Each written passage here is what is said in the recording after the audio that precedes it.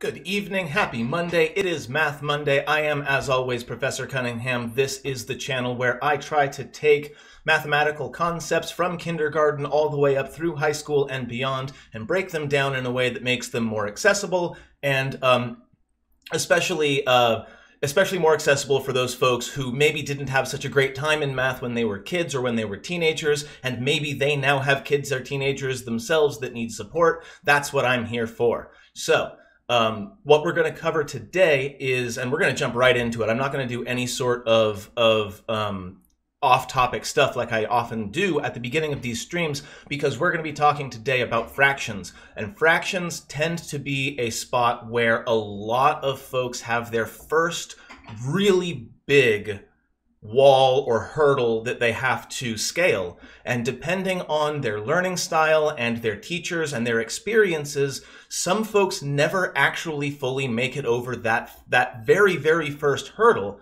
And it's easy to understand why. There's, there's a lot going on with fractions, and we're going to talk about it a lot.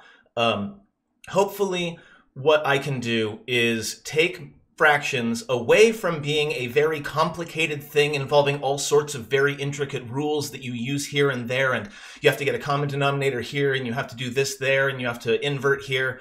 I'm hoping that instead of going through all of those sort of very formulaic rules that i learned when i was a kid what i'd like to do is instead try to help you understand more intuitively what fractions actually are what they represent and why they work the way that they do. Now, the first thing I'm going to recommend um, before I switch over to the Khan Academy view, and I should probably turn down my volume just a touch. There we go.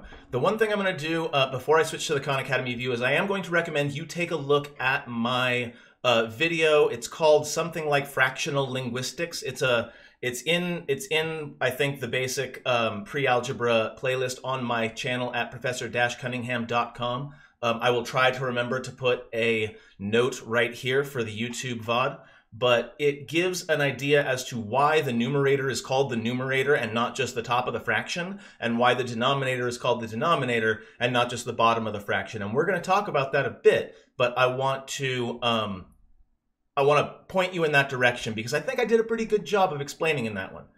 So, without further ado,